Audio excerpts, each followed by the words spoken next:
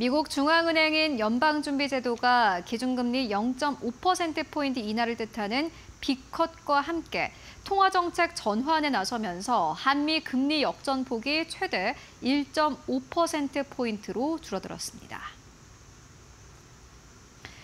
연준의 현지 시간으로 18일 연방공개시장위원회 정례회의 결과 정책금리를 기존보다 50베이시스 포인트 낮춘 4.75에서 5%로 결정했습니다.